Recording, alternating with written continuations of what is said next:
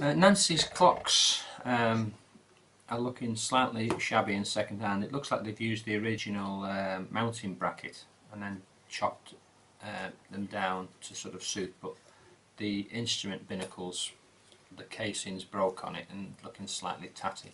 And the whole thing really could do with some uh, TLC to say the least so at some point I'm going to uh, fabricate some sort of box or mounting bracket or frame or something to hold the tacho uh, the old DEFCON switch, the on-off switch. Um, I'm, I'm, actually going to keep that. It's grown attached to that really now.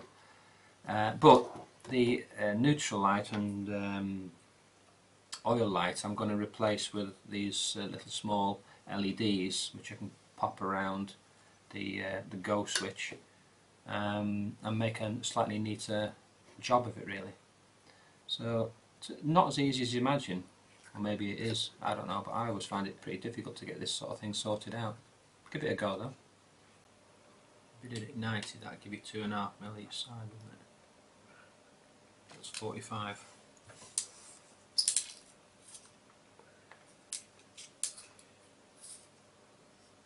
Uh,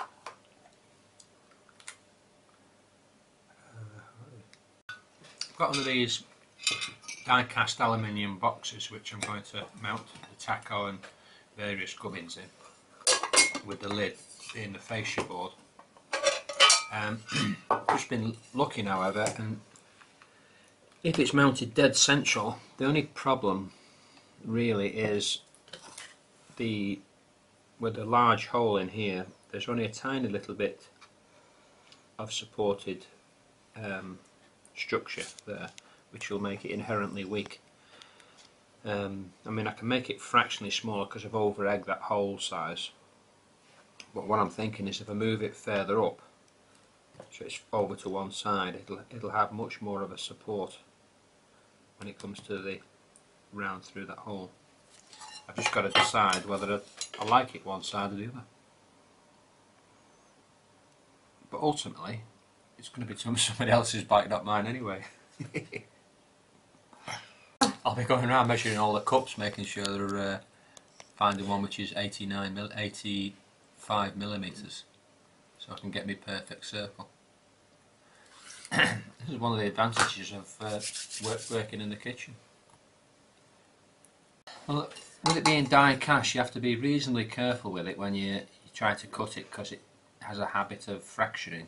Um, it's not like aluminium um, plate, which is a bit more malleable. This is quite delicate really in some sense. It's very light.